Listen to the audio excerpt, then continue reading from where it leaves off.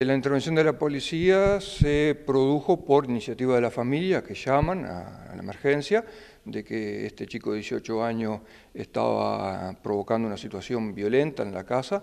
Es un muchacho que ya ha tenido otras intervenciones en la casa, en la vía pública.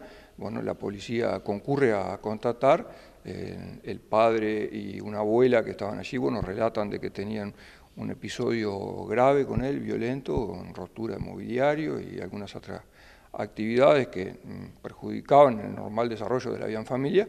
Este, se lo pretendió intervenir, él bueno, hace caso omiso a la policía, eh, en la vía pública eh, se desacata, eh, él estaba acompañado por un perro de, deporte, el cual ataca al, al policía, bueno, y el policía en ese momento para defenderse de la mordedura que le podía provocar el perro, más la agresión que estaba sufriendo, golpes de puño por parte del muchacho, desenfunda el arma, eh, realiza un disparo, eh, bueno, el perro es, herido, y en ese forcejeo se realiza un segundo disparo, este, nosotros lo catalogamos de involuntario, que bueno, queda en, el miembro derecho, inferior derecho del, muchacho, lesionándolo, ¿no?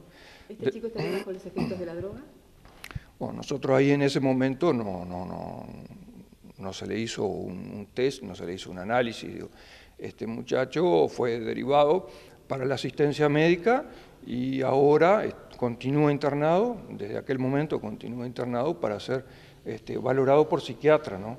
Así que este, más allá de que en ese momento estuviera bajo el efecto de alguna sustancia, suponemos que algún problema este, de salud tiene que, bueno, que lo, hace que, que, obre de esta manera. ¿no? ¿Un efectivo solo fue el que asistió en, este, en esta oportunidad? Un masculino y una femenina.